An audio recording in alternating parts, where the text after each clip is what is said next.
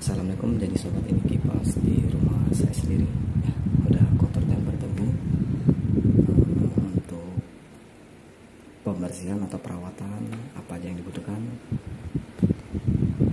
nanti saya akan kasih tahu. Oke lanjut ke next video. Oke sobat di sini ada obeng kuas jangan lupa dikasih minyak. Oke jadi tiga alat ini nanti kita pakai untuk perawatan kipas angin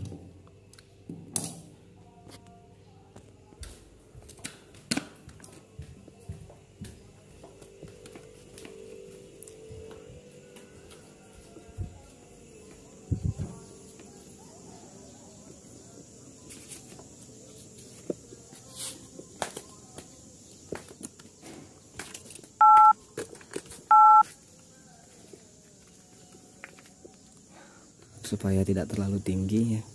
Ini kan ada baut di sini kita buka dulu.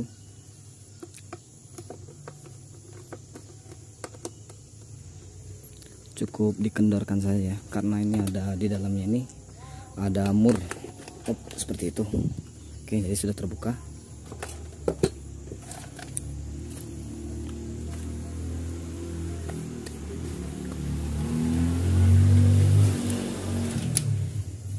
untuk membuka casing depan atau cover di depan kita cukup membuka atau mengendorkan baut yang ada di sini. Jadi seperti ini. Jangan sampai terlepas tapi cukup dikendorkan saja. Nah seperti itu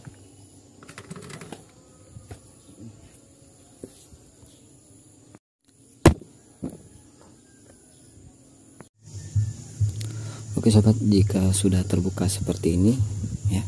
Untuk cara membuka baling-baling sepertinya. Boleh tahan salah satu dari tiga baling-baling, kemudian putar ke kanan, jangan ke kiri ya. Karena untuk di kipas angin itu untuk pemutarannya, untuk membukanya itu ke kanan, untuk tutup baling-baling ya. Nah, jadi seperti ini. Jika kita ke kiri, itu semakin mengencangkan ya mengencangkan tutupnya. Karena kan kipas angin berputar ke kanan untuk dia menghembuskan angin keluar. Nah, jadi kita membukanya berlawanan jadi ke kanan. Kalau ke kiri itu mengencangkan tutupnya. Oke jika sudah dibuka langsung saja lepas seperti ini. Untuk yang bertubuh boleh dijadikan satu terlebih dahulu seperti ini. Nah kalau yang tutup, tutup uh, kerangka kipas yang terakhir itu ke kiri ya. Untuk tutup baling-baling saja yang arah ke kanan. Di sini jika sudah seperti ini rekan-rekan boleh kuas-kuas saja tanpa harus membuka cover dari kepala kipas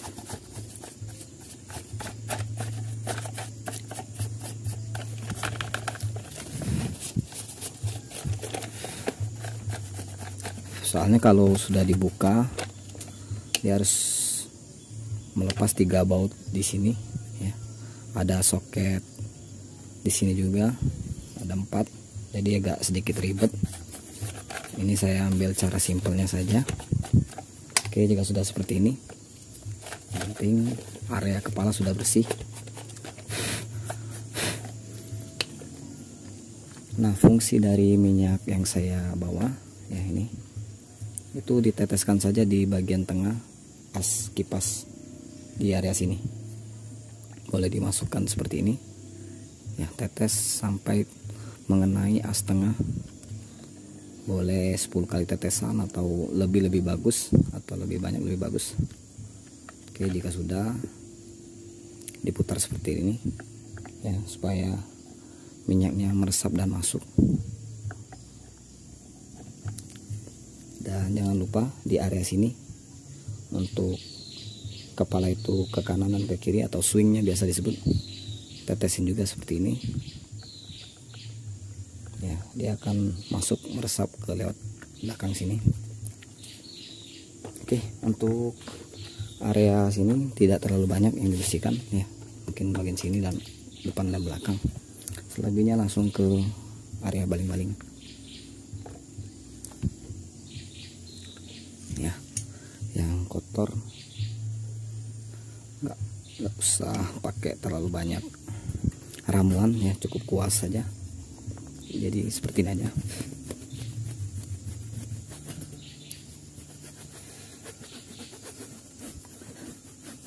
Hmm, terlihat cukup dikuas-kuas. Sambil ditip ya karena debunya tebal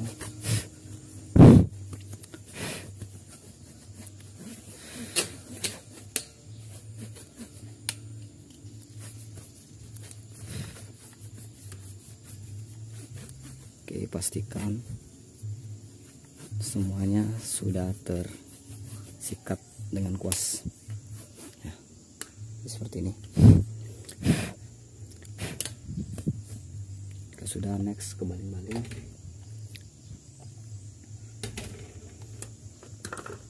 Nah, sini dia. Ya, lumayan tebal jika debu-debu ini dibiarkan ya pastinya as tengahnya nanti berat dan lama kelamaan kipas juga mengalami kerusakan ini alasan kenapa rutin harus dibersihkan supaya debunya tidak masuk ke as tengah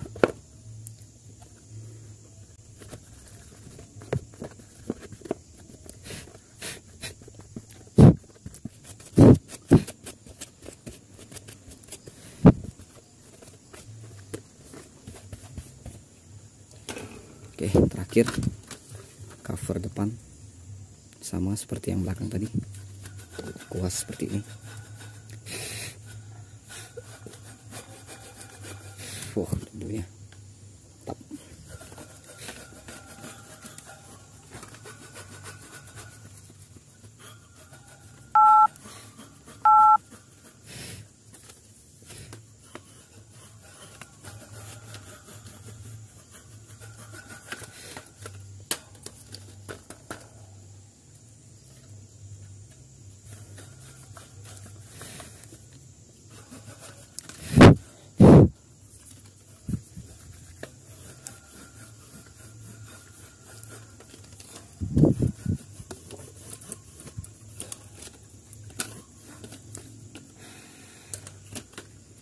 Jika sudah dirasa cukup bersih,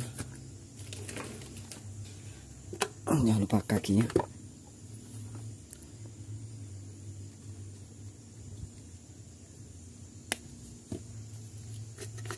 Dikuas-kuas seperti tadi. Oke, sobat.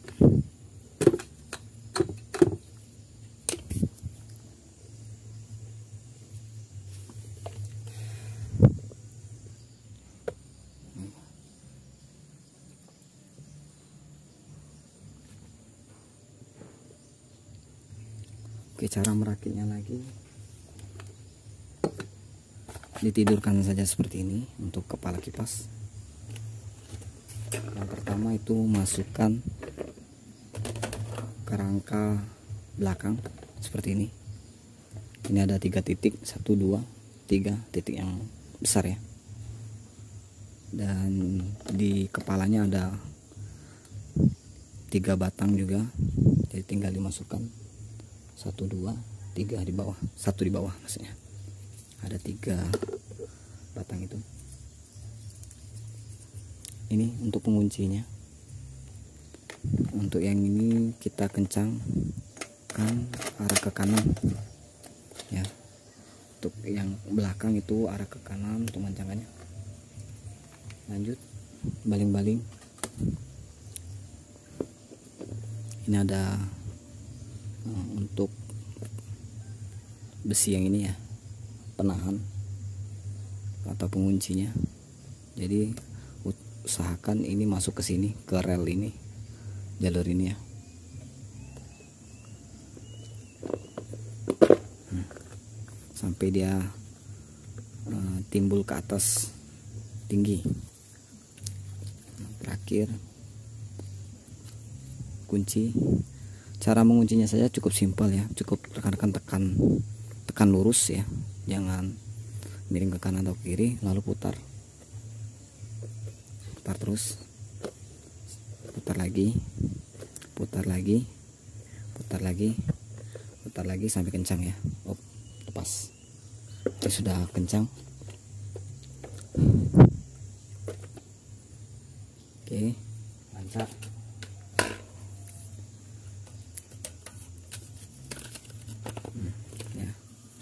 pastikan ini jalurnya di belakang ya. Ini kan maju ke depan ini.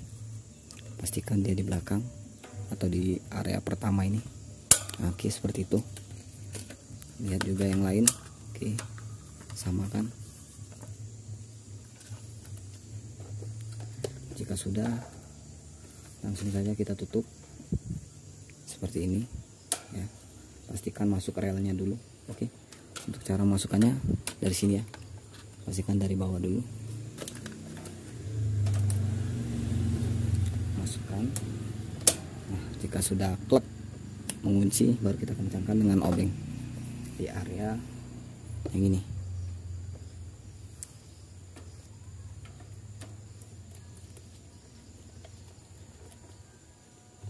Oke jika sudah dirasa kencang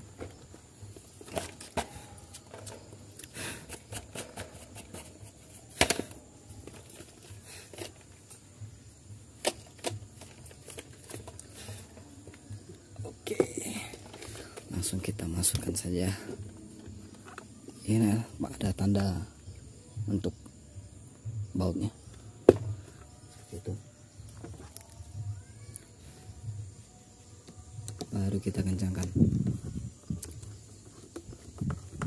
Oke. Selesai.